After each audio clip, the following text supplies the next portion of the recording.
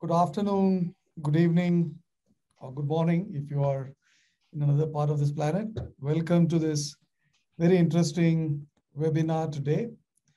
Uh, we have today uh, a topic that uh, I was talking about this a little while ago with my fellow panelists, uh, a topic that actually has uh, an universal appeal, uh, something that every banker around this planet is keen to know about uh, and is actually looking to practice and embrace it.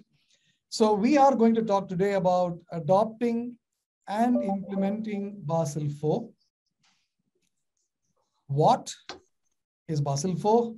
Why should we actually be going about adopting and implementing it? And more importantly, how are we going to go about it? So the what's, the whys, and the hows.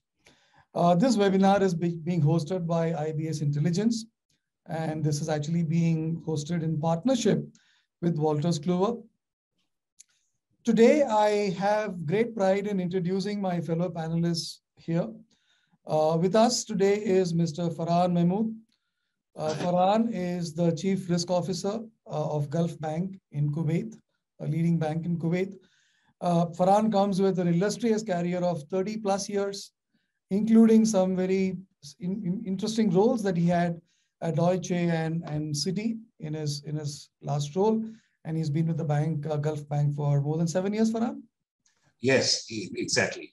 Correct. Thank you, Farhan. Thank you for being with us today. Pleasure to be there. Uh, we also have with us uh, Xavier Dubois.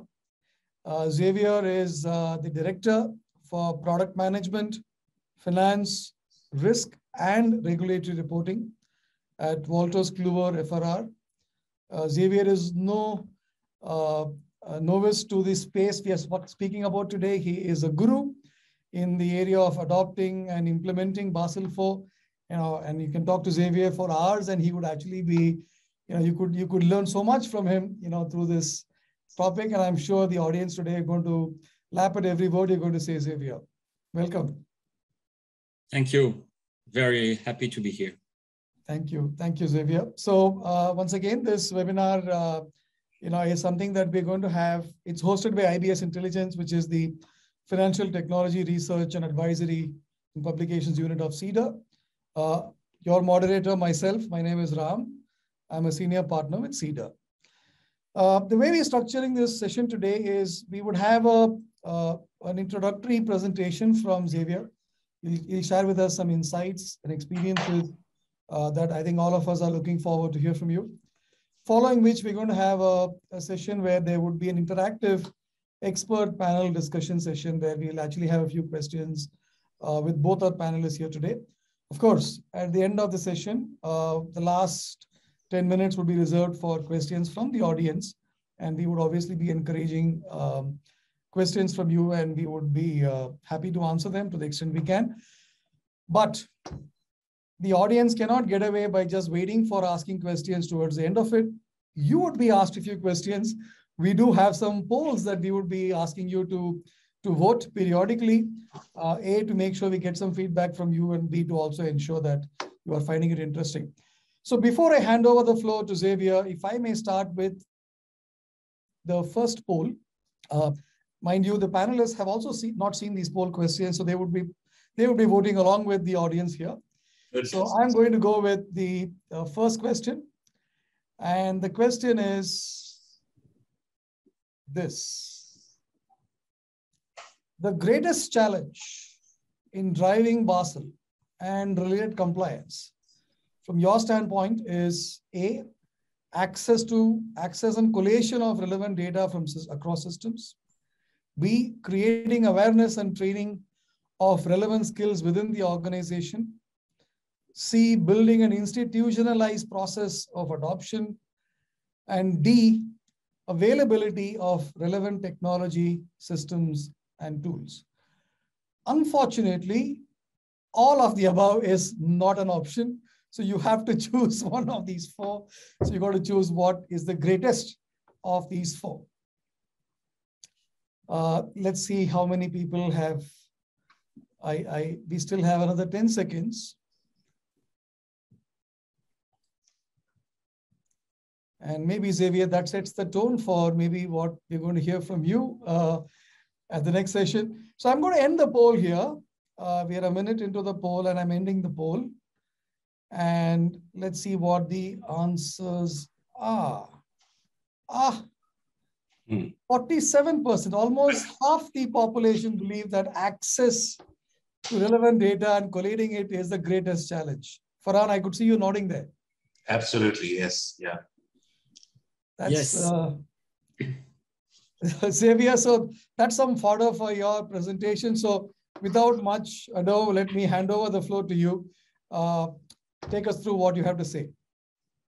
Thank you, Ram. Let me share my screen and let me do that properly. So I think I am now sharing my screen and you are seeing my presentation, right? Oh, yes. Thank you, Ram. Uh, so thank you for, for um, listening to, to this introduction. So the purpose is really to give you uh, some insight about Basel IV and as well as some lessons learned, I would say. And we have already uh, uh the first lesson uh, that, that you all, that I don't have to tell you because 47% uh, of you already know that the, the biggest challenge is the data collection. But I would say that this is not, unfortunately, typical to Basel. This is really uh, across all the regulatory reporting and the new regulation requirements. Um, so let, let me start. So as you know, uh, Basel III comes from the 2008-2009 crisis and Basel Committee first issued some short-term actions, what we call two, Basel 2.5, then some longer-term action, and then finally they came up with the finalization of Basel III. What all this, which is um, called Basel IV, um, and let me close my, yes, that will be better. Um, so this Basel III finalization is so big in terms of impact, concrete impact, that many in the industry have called it Basel IV, because the impact on system, on processes is so huge that it deserves a new number, but officially it is a Basel III finalization. So, and this Basel III finalization still evolves. Uh, we had a new minimum capital requirement on market risk. There has been a CVA standard update, but this was all done at Basel committee level for internationally active banks. And as you know, it has to um, it has to be translated into the local uh, regulations. And in that process that you will probably all face, there are possible changes, additions. There are also the rules for non-internationally uh, active banks. There are different deadlines, and this is a, it can become a nightmare. And there is as well the local regulatory reporting. And this local regulatory reporting is probably what most banks see as the first and immediate requirement. So this local legislation uh, translation is, is a process that will be different for all of us um, in, in all the countries. And I said I would uh, uh, talk about some European experience. Why? Because uh, in Europe, uh, it has been called CRD5, and the first set of Basel reforms, a part of the Basel reform, has come into in, in what has been called the CRR2, and this CRR2 has been in place mainly um, uh, applicable as of June this year. So we have the implementation of Basel of CRR2 uh, in, in our back.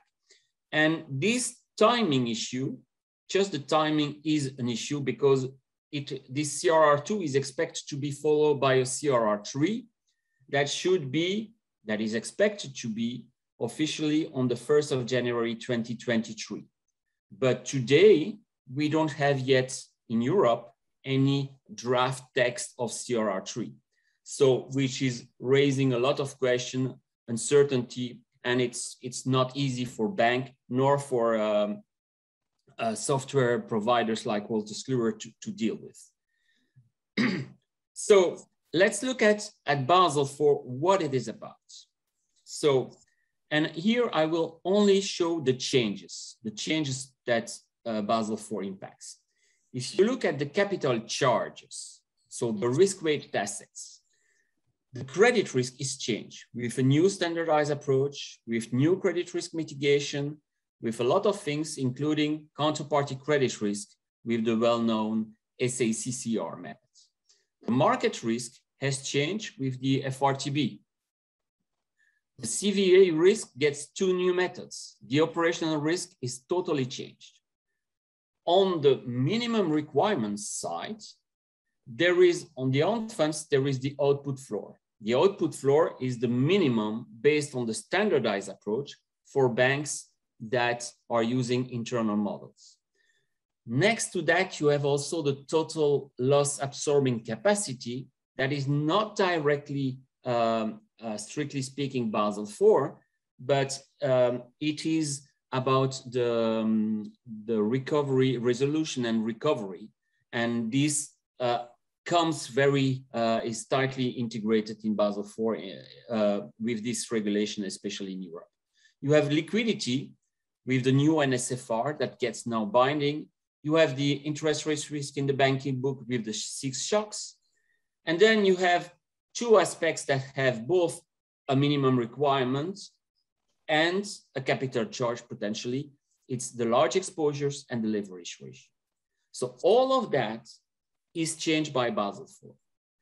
Now, there are some dependencies, and this is the first time it is so important in Basel IV, is that between all these calculations, there are links. And for example, if I take the counterparty credit risk, CCR, the results, the exposure value for derivative, because that's what it computes, should be used by not only credit risk, but also CVA risk, but also large exposure and leverage ratio. So you see one component has to be used four times.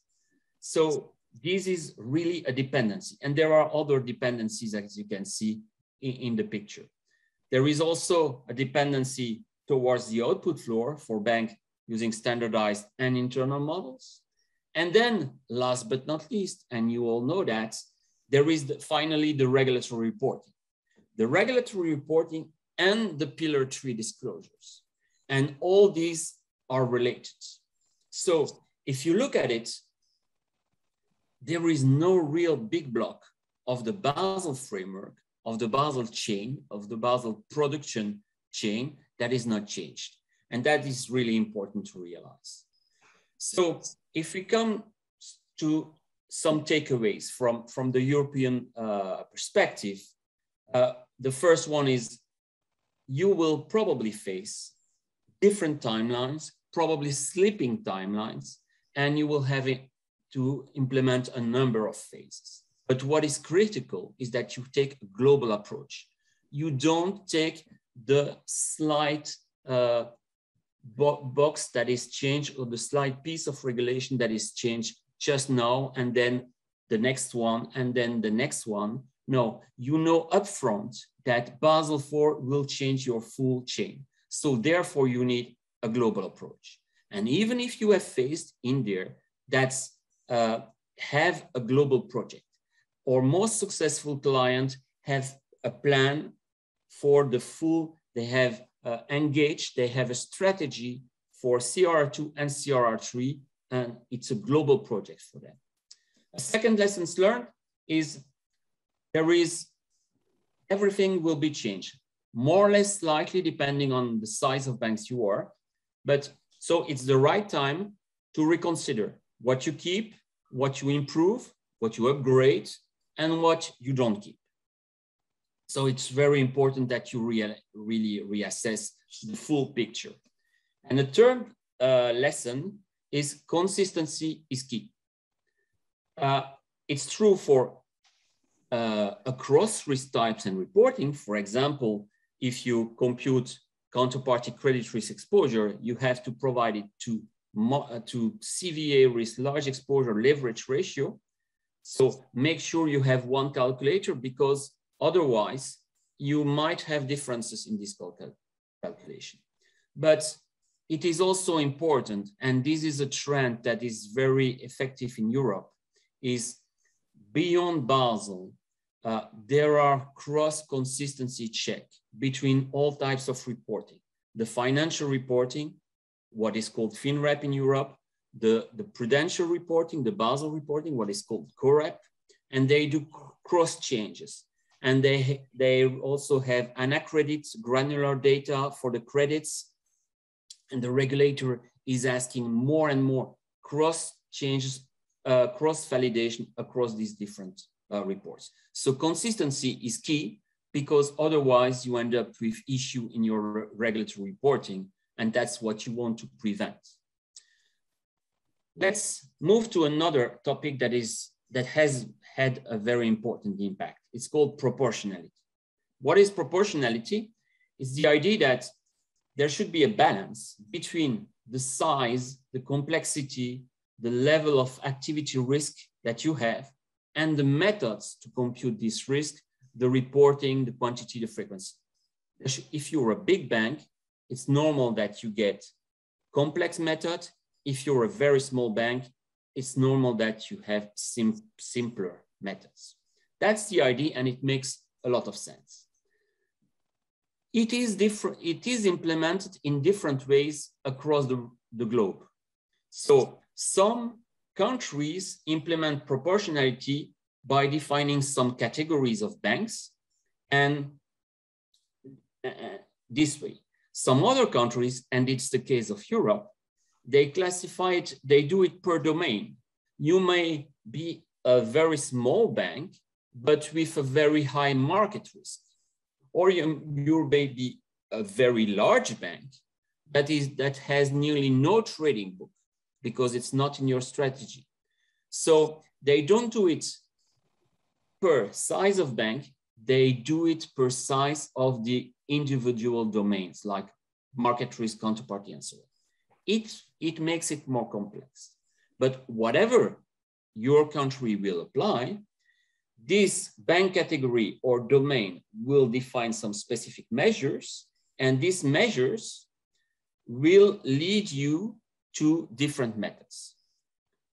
This is very important to understand. It is very important that you realize that. An example, for market risk in Europe, you have, so to speak, three categories, the small, medium, and large. These are not regulatory terms. They have a trading book size, and they define how to compute this size. And depending on the size of your trading book, you will have different methods, what you see in the right column. You have different methods to apply. Either if you're very small in terms of trading book size, you have exemptions or derogations, and it's pretty easy.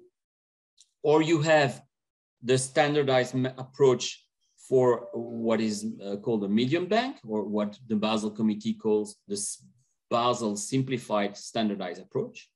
Or if you're a large bank or with a large trading book, you need to do the FRTB. So this is an example. What can you take away from that? Is it is very important to understand the proportionality in your jurisdiction. I am meeting banks that do not know first that there is proportionality and that they have to decide what they want to do. So for example, if you can do a, a, a simple method, uh, you don't want to implement a project FRTB, which is a huge project. So it is, it is important because it defines your business impact, and that is key. And it's also uh, determines what you need to implement.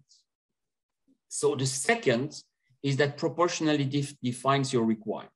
You need to know where you are and where you want to be. For example, if you are at the limit between two categories, you need to know whether you want to grow and, and make the, the methods of the higher category, or if you say, no, I keep small uh, and I implement the, the simpler method of the category lower. This is important because the impact, not only business, but in terms of project is very important.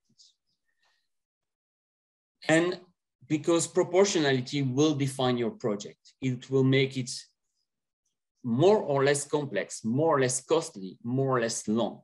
This is really important.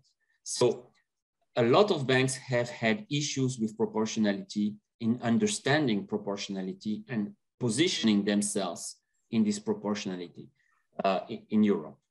So this is a lessons learned. Take, pay attention to that. A third aspect is, is this. Um, if you look at regulatory reporting, actually, you have three point in times. You are doing the, the regulatory reporting for your month of September, and you get three values for my example, the liquidity coverage ratio, the leverage ratio, and the tier one capital ratio. These are three points in time. But actually, when you are doing ALM, for example, you are forecasting things and you are forecasting to the future. And actually, this is what banks would like to do is to be able to forecast or to, to, to extrapolate, to project. But of course, you don't know the future. So the, te the technique to you to do that is to use scenarios. And so you want to project using different scenarios. This is what banks want to do is to have the integration of four dimensions, the regulatory metrics, the LCR, the capital ratio, the, the capital requirements, together with their business metrics, internal metrics, together with the time dimension and the scenarios. So what can you learn from that in Europe, from Europe? Why do they ask for that? There is a mandatory aspect it is the ILAAP and the ICAAP. Within the ICAAP and ILAAP, which are pillar two, there is a requirement to do planning, capital planning, this is a requirement, and stress testing. It is part of pillar two. So it is really part of the, your duty in terms of regulation to do this planning and stress testing. What some banks do include that upfront in their requirements, and they come to us and they ask, yes, we want to do that. Some banks do just focus on the regulatory report.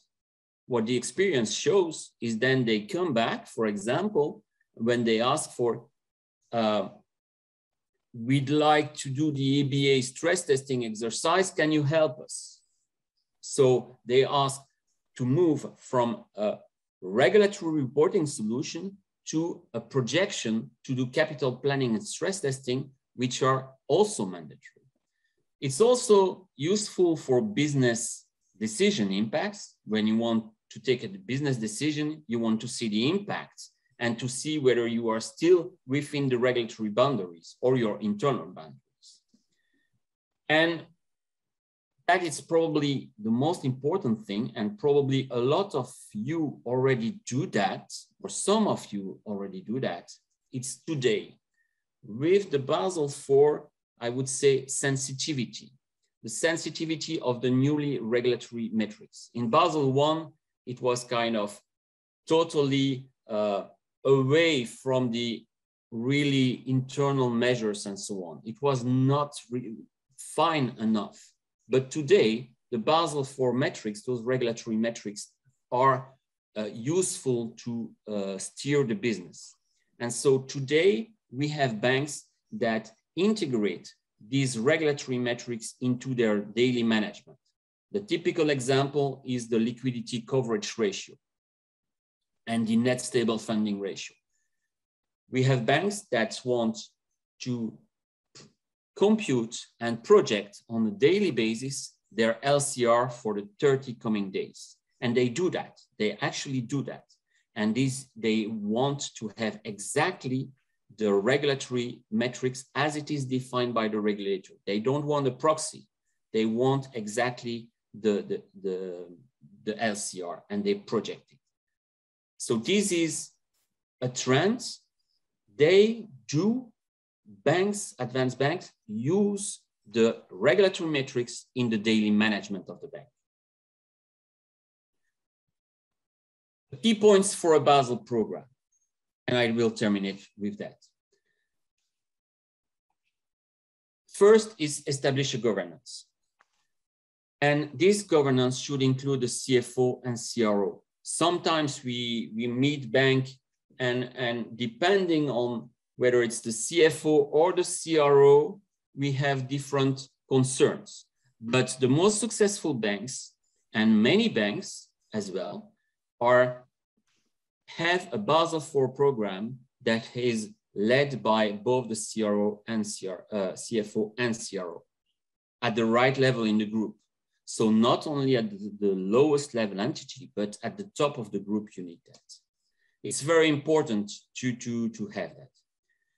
Second is assess properly the current situation.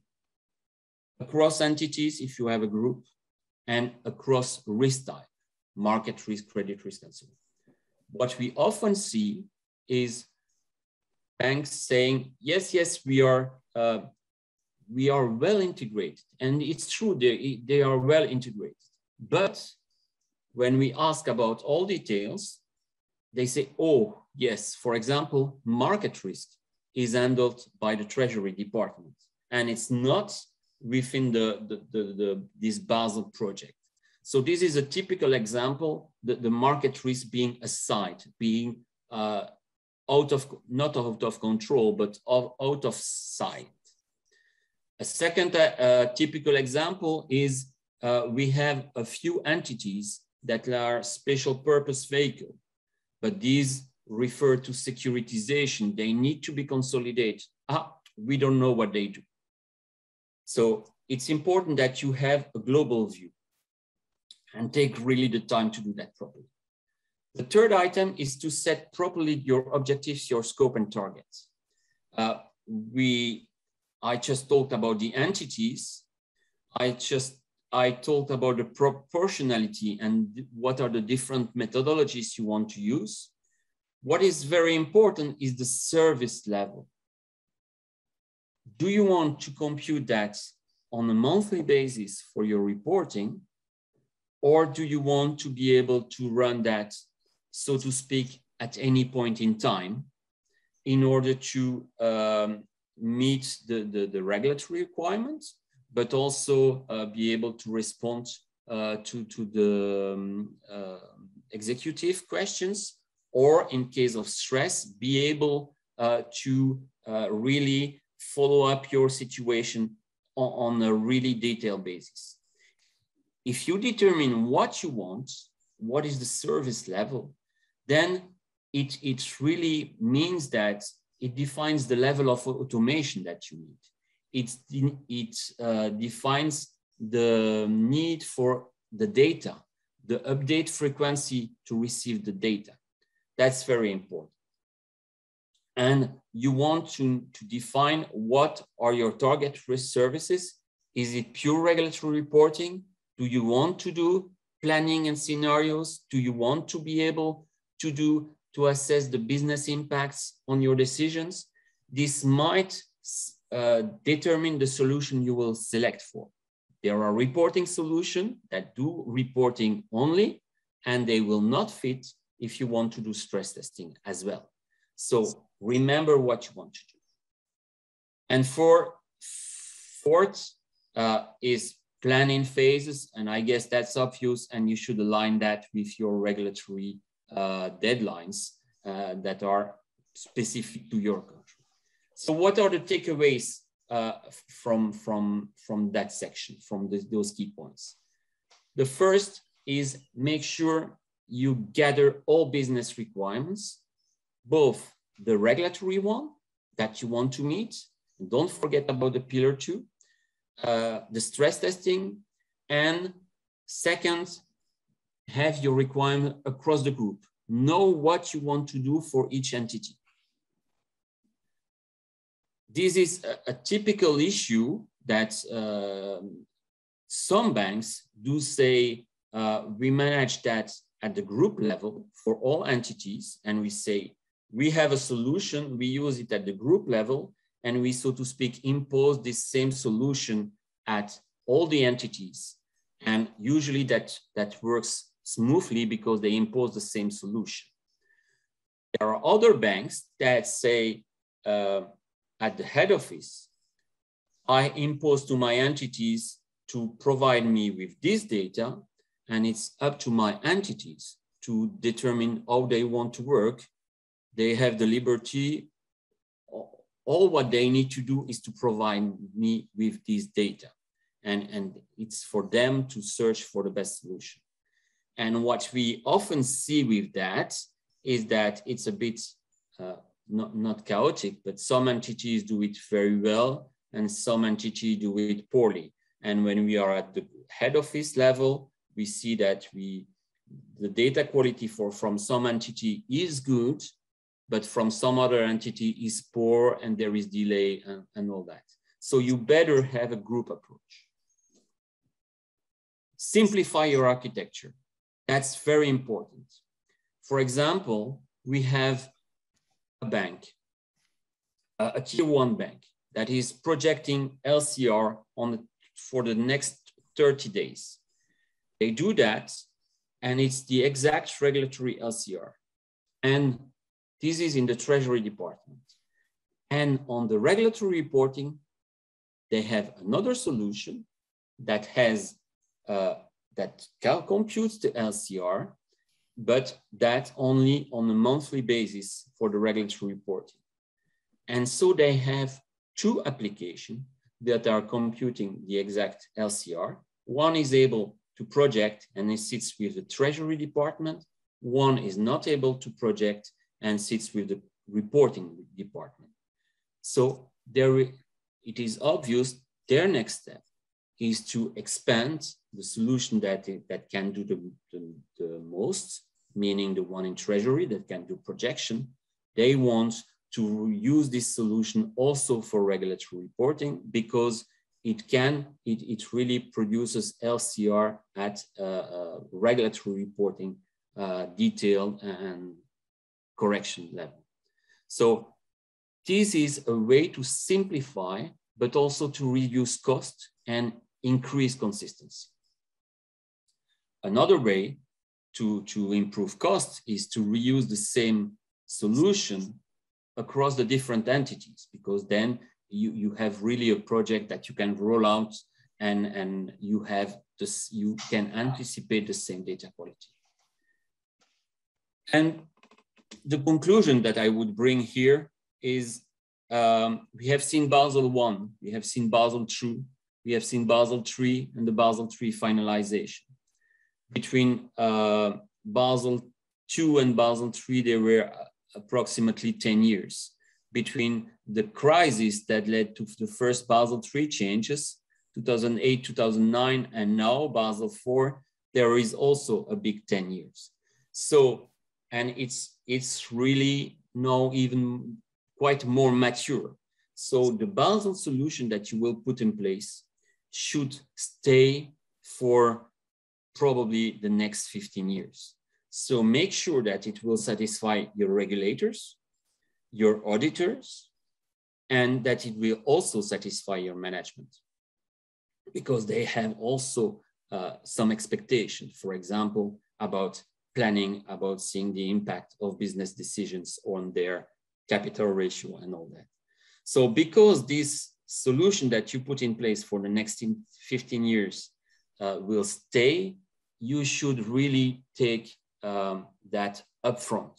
So in summary, take a global approach that you will implement with in phases, take all the requirements and make sure that what you are putting in place now will be stable and sufficient, good for the 15 coming years. And with that, I finish my introduction. Thank you. Thank you, Xavier.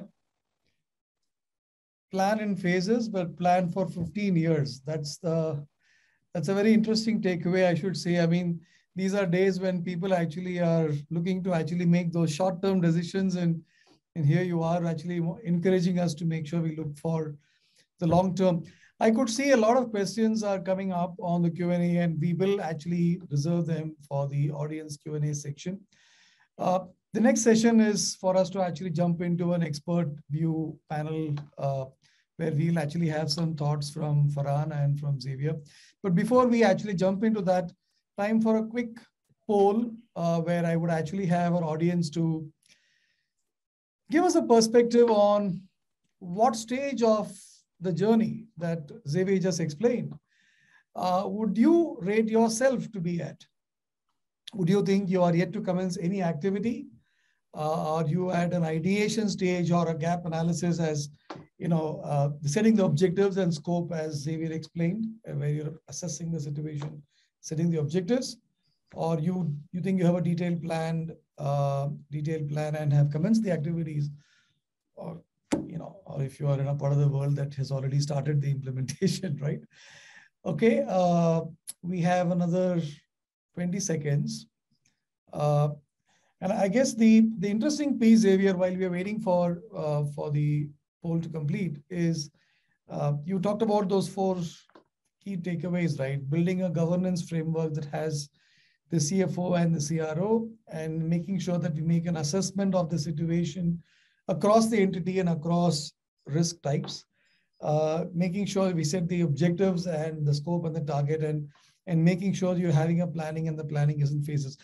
To me, and I'm sure Farhan would agree with me, this sounds like a plan that would be applicable for any any implementation or any transformation, leave alone Basel. Right? Yeah. So, uh, uh, but I think that was that was sound advice, Xavier. Thanks for that. Well, our poll time is over, so I'm concluding the poll and let's see what the results are. Well, more than half of our audience are at a stage where they are ideating or planning, right? Which very much sets the tone, uh, should I say, for the next session that we're having. Uh, and I will probably, you know, go to you, Farhan, and actually maybe, you know, based on what you know, we've heard from Xavier and from your own experience, right? I mean, if you had to tell us, you know, how would Basel IV be different from our earlier regulations and, you know, the key tenets of Basel IV from your perspective as a practitioner, uh, what would the key tenets be? I mean, how would you like to summarize it? Well, first of all, uh, thank you, Ram, for having me, and thanks for your, you know, very kind uh, opening uh, comments. And hello, everyone. Um, look, Basel III final reforms is what Basel Committee calls these rules. And as the name implies, I think at least in thinking, uh, it is an extension of your uh, evolution of your Basel III. Um, uh, so, so, but that's not necessarily true in its in, in its implementation, as Xavier pointed out. I think the implementation uh, will be much more revolutionary because of uh, the way uh, it has been laid out. Uh, but I think a couple of points I should uh, point out, you know, in terms of the key uh, direction or key uh, thought process, which I think uh, is, is, is driving these new reforms. And I think, so if you look at the, the Basel III, I think the focus was all on capital, on, on enhancing the capital, whereas here now, we are really looking at the determinants of that capital and we are trying to specifically RWA, for example, you know, and, and fine tuning uh, uh, the determinants rather than the capital itself. That's not to say that there's no not going to be any capital impact. There may very well be, but that's certainly not the uh, the, the intent or the thrust of the new regulations. Um, the other point I think uh, importantly in these regulations is that it's taking us back to a more prescriptive nature and so there's more prescription here rather than discretion. So in fact, if you look at the rules, a lot of the discretion is being taken away. And, and so there is a tilt towards standardized uh, approaches, right? Um, and that basically, why that is being done ties in with the two basic objectives of, of the new rules. So if I were to just sum up two things, uh, which, which are the primary motivators of this, is I think the committee, Basel committee, wanted to increase the comparability of ratios and, uh, and, and reduce the excessive variability that exists at this point in time uh, when you compare, you know, re different regions to each other or different institutions within a, a region even. Um, and also, I think, uh, I think Xavier mentioned that in, enhance the sensitivity and granularity, um, uh, you know, of the standardized approaches, right? And there are a few things that that it does uh, to to achieve those objectives, and I suppose we can get into that uh, later. Uh, but I think I'll stop here. You know, so that's kind of the thirty thousand uh, feet view of uh, of the new rules. The, call it Basel four. Uh, or call it Basel three, you know, final reforms as the committee likes to call it. Very useful, very interesting, uh, Farhan. Um, prescriptive, not uh, descriptive, improve comparability, enhance sensitivity. Uh, I think very, should I say, uh, uh, important takeaways, right? But I'll, I'll now go back to Xavier, and I think the question I want to actually go back to you is you've spoken so much about, um, you know, how one goes about doing this and and what it is all about. But I think there is a very pertinent question, Xavier, and this about why should someone do this, right? And I, I guess it may be, and, and considering that a majority of our audience here are in the stage of planning for one and looking to actually go through this journey. You know, if you were to actually, and, and you've seen this from various parts of the world across continents, uh, and you know, and, and I think you you have a perspective that could actually be more, should I say, uh, um, across places and across different kinds of organizations. What is the benefit? Why is Basel IV beneficial to a bank? And if, and if you were to say this for a large bank or a small bank, you want to make a difference, or is it the same for everybody? I think that you can make it, uh, or, or the banks can make it beneficial to, to her. Um, the, the, um, and this is what we see is that usually um, when you are a small bank, you think you have less resource, you think more in terms of uh, the next step, the next deadline, fulfilling the next requirement and so on. But this is really the time to, to, to take, uh, to take a step back and, and think about your strategy. What we see globally, um, and the trend is very far in, in Europe, is the integration of finance and risk. That's one aspect. For example, you see um, in IFRS 9, for example, the PD, LGD, the PD, LGD that are on the credit risk, uh, they are used in finance and risk and the regulatory reporting. So this is a one generic trend.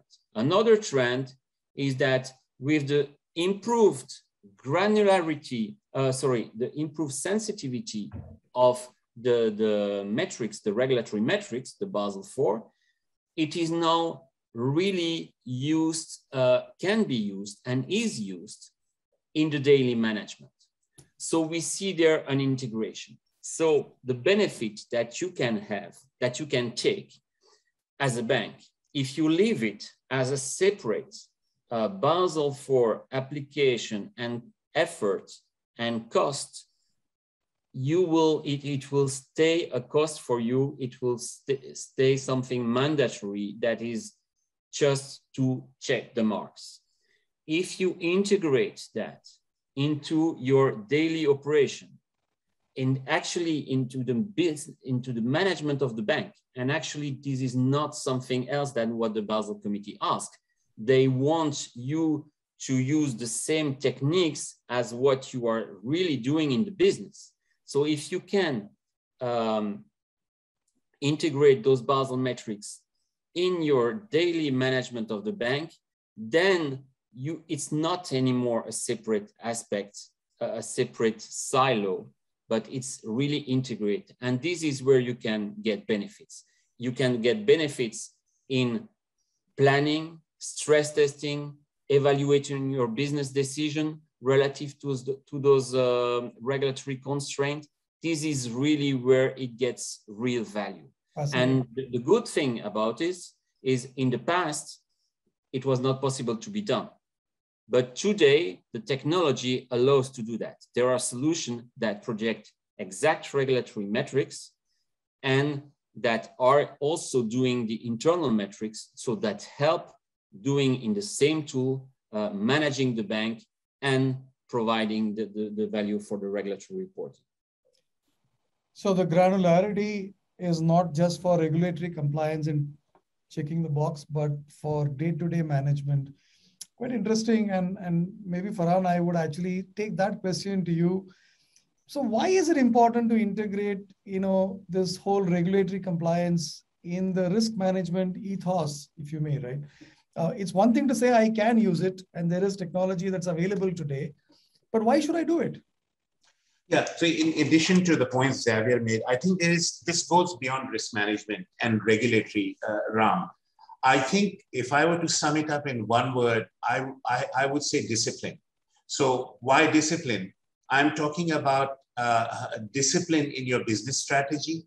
I'm talking about discipline in your risk appetite. So some of these regulations will force you to think, especially if you are a bank which is sensitive about capital and capital deployment, right? So because it goes down to the level of detail uh, that it does. Uh, so if you take, uh, you know, your real estate portfolio, it cuts it in so many ways, not just by LTV, but also whether it's, it's land uh, uh, finance or if it's uh, revenue generating real estate, etc um, you know, it will force you to, to, to redefine or at least at minimum think about your strategy. How do you position your portfolio to maximize your capital uh, deployment versus your returns, right? So the, there are elements built into it, which at the moment, uh, you know, banks, maybe some banks do, some banks don't uh, to varying degrees, but certainly not with the kind of discipline that this will impose. So you will have you will have it laid out in front of you. These are your options. If you go this route, if you skew your portfolio towards a certain type of uh, uh, lending, uh, be it within the real estate space or general corporates or in retail, where again it's by product, you know, they specify uh, your, uh, your charges. Um, you know, uh, so, so that will help you define your strategy in a more disciplined manner. So that's if I were to make one point. I was, I'll see if I can use the same content. Sorry, I'll, there is a uh, observation I had, uh, Farhan, and, and discipline, I guess, extends to actually becoming more self-aware as a bank. You know, in terms of yes. what my own strategy is, what's my capital you know uh, you know how do i deploy it uh, and what's my risk appetite and what's the best value for the capital that i'm deploying right. from another angle right but i guess you know at the end of the day rubber hits the road and i have to get myself prepared for it and i'm i'm maybe i will ask you this again farhan and if if if you were to actually talk to your fellow you know professionals out there in the audience and from your own standpoint what would you think you know could be the typical quote unquote proactive preparatory activities uh, that the bank could look at as it's looking to implement Basel IV? Well, uh, obviously, I mean, the, the uh, I think uh, Xavier had a good slide up there, starting with governance. I would say, you know, the, the first step after that is once you have that sorted out, is an impact analysis and gap analysis, because uh, uh, unless you know how your current situation, your current, uh, you know, systems, and I'm not talking just about, you know, one aspect of it. This, this affects your data, it affects your process, and it affects your systems. So all three get affected. Um, and, and, all three need to be looked at very critically. Uh, and you have to map your current situation to the new rules and identify the gaps. And, and so that has to be, uh, you know, the, the very first step. And then, you know, the rest of it actually follows uh, quite naturally. It, I'm not saying it's, it's done very easily. It's a very challenging uh, thing to achieve, um, which is where I think uh, this is better labeled Basel IV rather than uh, Basel III final reform. So in thinking, as I said earlier, it is Basel III final reforms, but in implementation, it is actually Basel IV. Um, and so that's where the key challenge uh, kicks in.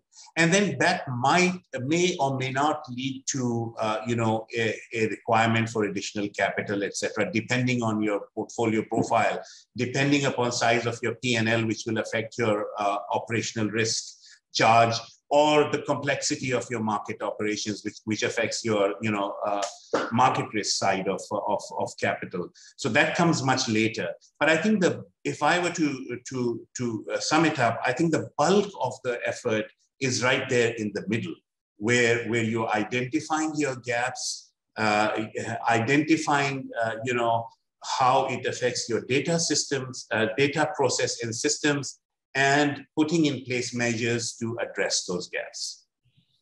Data processing systems and putting in measures. That's um, and, and identifying the gaps to make sure they are addressed. Xavier, I mean, if I was to turn that, would you call them as the critical success factors as well? Or would you have another spin to what I would call as challenges and critical success factors for a successful, effective deployment of Basel IV?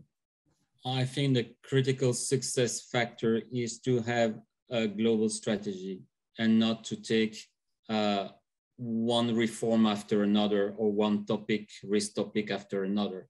Is to have to establish a global strategy where you that is backed by your CFO and your CRO, and to uh, integrate that into the business, into the managed business the management. Yeah? Yeah. you got to have a view from the top before you go further is is what i hear you say loud and clear.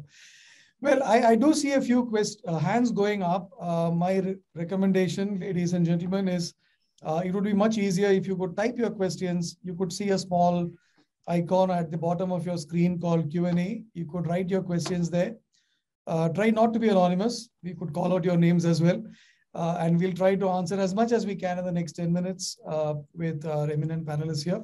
So before I take the questions from the audience, it's time to ask the audience a question. So here we go with question three. How is Basel IV best executed from your own perspective? Is it executed best with your own internal resources who are actually doing their business as usual activities and a Basel IV rollout? Or you think having a dedicated internal team focusing on Basel IV is good? Would you like it to be implemented with a fully outsourced unit, third party unit? Or you think it's a good idea to have a hybrid of both internal and external?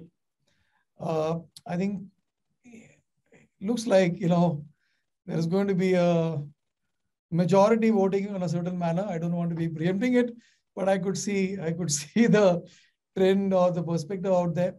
Now, uh, while we are waiting for the audience to poll, uh, you know, my question, Xavier, is you have you've seen this from various parts of the world, right?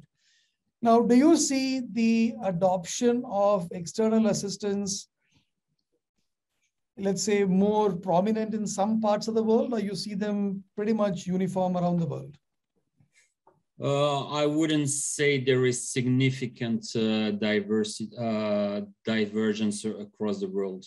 I think one key element is is to um, is to keep the key knowledge also internally. You cannot only uh, you have to to have this handover. You have to take this knowledge of Basel IV into your own people. So this can happen in, in various way. Of course, there, there is a, a boost that you need to give to the project and most of the banks call on external resource to do that, but it's very important that your internal people get uh, up to date with the details uh, of Basel IV so that you keep this knowledge within the bank. Interesting. Let's see what our audience have to say. And lo and behold, they, they completely concur with you, Xavier. They could see that 72% of the audience believe it is a hybrid approach with internal and external support. You can't do it without you know, making sure that there is a transfer of knowledge uh, done with the internal team actually embracing it, imbibing it, and internalizing it, right? Uh, so with that, let's jump to the last section of our session today. And I could see a few questions out there. Uh, there was a question from Dr. Kareem Mohammed that's in fact, he's asked this question much earlier when you were presenting, Xavier. Could you elaborate more with regard to integrating between ILAAP and ICAAP. Uh, would you like to take that, Xavier? Of course. Uh, so in, in the ILAAP and the ICAAP, there are requirements for capital planning, liquidity planning, as well as stress testing and making different scenarios of stress testing. And so uh, you should make sure that those requirements, that the solution that you are putting in place uh, for the next 10, 15 years is taking these requirements into account. And for me, this means that the solution by which you, you compute those Basel metrics, that this solution is also able to do, to, to establish scenarios, that you can define scenarios in that, and that is it is able to project your business to the future, as well as computing those different metrics on your projected business. This is important for planning. This is important for stress testing. And if you can do that, you really help uh, managing the business, the risk, and you also uh, responding to the requirement of ILAAP ICAAP in those two areas.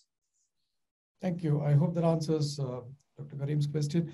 There's another one from uh, Sarah Abdul Karim. Um, and maybe uh, Farhan, I would pose this to you. Uh, which area within risk management would you expect to be most impacted by the new Basel rules in the GCC and particularly in Kuwait?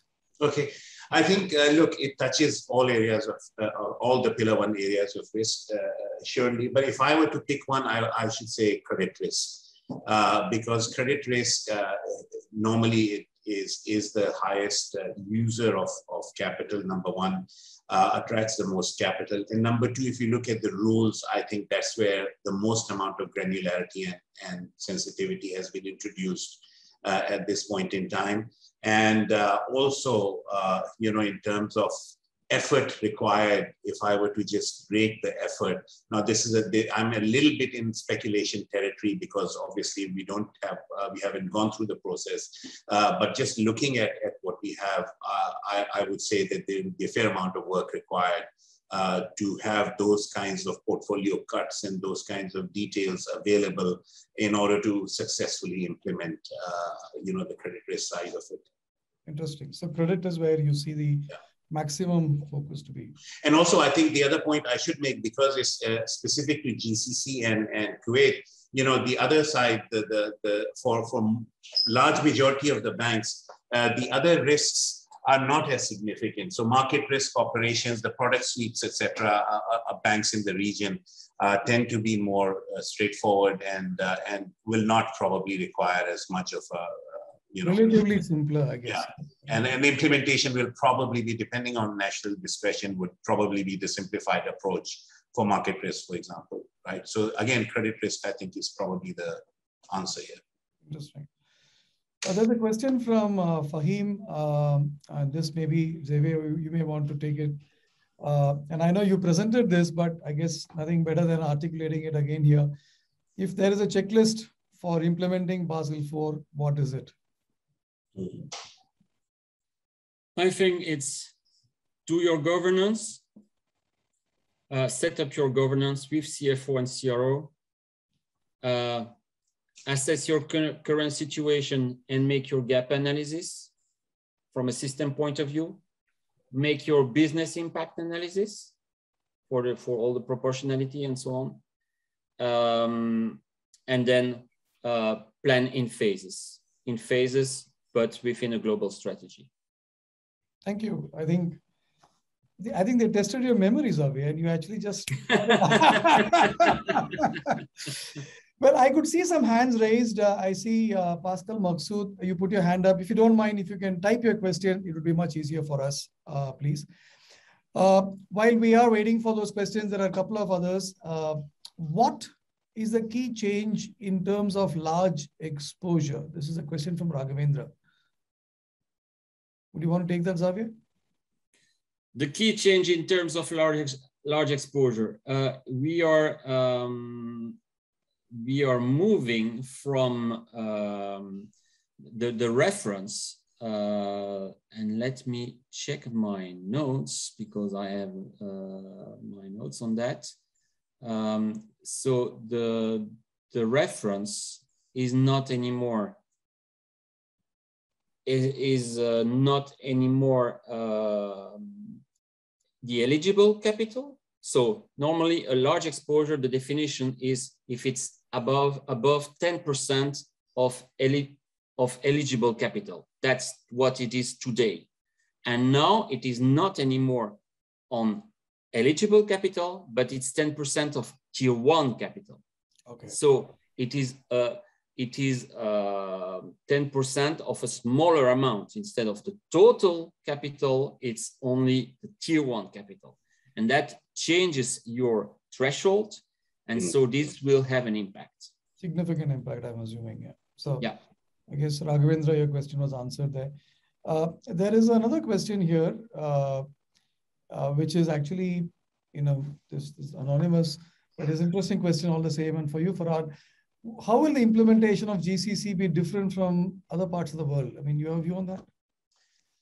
Um, look, I think, uh, yes, I, I, think I have some idea. Um, uh, so national discretion, number one, will play a very important role. That's almost guaranteed uh, because as we have seen from previous implementations, uh, Basel III, as well as the more recent IFRS 9 implementation that we have done, so one thing is almost certain that uh, that there will be fair amount of, uh, of national discretion.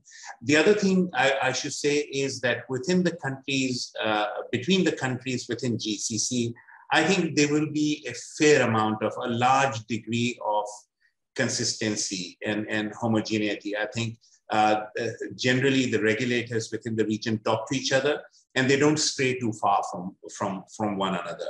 Uh, that's number two. Number three, I think you will see uh, more simplified approaches applied for, uh, as I was mentioning earlier, for what is perceived to be, you know, uh, simpler operations uh, like market risk on the market risk side, the simplified approach. In fact, Qatar has already opted for the simplified approach, right? Um, so the path of least resistance is to the extent possible. Uh, again, on the credit risk side, for example, you know, where you have an option of, uh, you know, going either with with uh, with external ratings or the SCRA uh, uh, methodology, you know, my sense is that most regulators would mm-hmm. probably opt for the external ratings. Uh, and mm-hmm. that has already started with Qatar again has already done that. Um, so, uh, so, so on the credit risk side, on the other aspects of it, I, I don't think there will be a, a huge difference. Um, uh, I think they will largely implement, uh, you know, the, the, the, requirements. On the market risk side, they'll opt for the simplified uh, version. On the risk side, I suspect, again, this is a little bit in the speculation territory. I think uh, the ILM would probably be set at a one you know the uh, the the factor in the in the operational risk uh, uh, uh capital uh, which takes into account your historical uh, losses you know 15 times your 10 year historical losses and there's a factor you're supposed to come up with i think that aspect of it national discretion will ignore and it will probably be probably be set at one so these are just some of the things that come to mind immediately um, but if you compare gcc as a group with, let's say, more developed markets like, let's say, uh, Europe, etc., I think uh, you will see some simpler versions of certain aspects of the uh, Basel final reform. And I think it's not just, while it may be oriented as a GCC, you see them still to be a very national level conversation. And yes, it is. I, I, certainly. I, I, would say that, that uh, there's a, a, huge amount of, of uh, central bank involvement in all such uh, initiatives um, uh, uh, they will they will comply, but I think they will uh, be very involved. Excellent. Uh, I guess we've run out of time, and I, I could see there are three four questions, but I'll probably pick only one, uh, keeping in mind we've run out of time. Uh, this is a question from Siddhartha Kunduru. maybe Xavier, you may want to answer this. Are all the banks, regardless of its size, required to implement the norms framed as part of Basel IV? If not, is there any exception to it? So sorry, can you repeat? Is there an exception to Basel IV depending on the size or profile of a bank?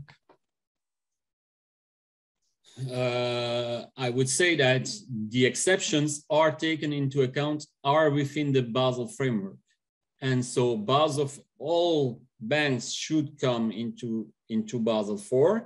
And within Basel IV, there are, which is the proportionality, there are aspects that are very uh, low demanding, uh, that have a very low threshold. Very, so paradoxical, right? You you want an exemption, you got to first be compliant, and then you can be, make an exception there. yeah, yeah. You need to be in the exception within the framework, but uh, but that depends. That depends uh, on the local implementation yeah. because Basel is for the internationally active banks, and it is the local regulator that will determine what is for non-internationally active banks. And Makes so sense. those smaller banks will depend on the derogation of the local supervisor. Makes sense. Makes sense. Look, I mean, the number of questions out here that still keep flowing in just shows how hot this topic is and how interested and engaged our audience are. But unfortunately, as they say, all good things need to come to an end. And I have to draw the curtains here. But for those of you who still want to ask those questions, you could direct them uh, to the uh, IBS intelligence team, and they would we would do our best to actually get those questions posed to our panelists, compile those answers, and come back to you. Uh, with that, if I may, you know, take this opportunity once again to thank you for our wonderful, great insights. Thank you, thank you uh, very much. Pleasure having you here. And Xavier, what what insights and and and a lot of checklists, as they called it, right? And and I guess a lot of our people in the audience will make the most of it. Yeah. Thank you once again. Have a great evening, everyone.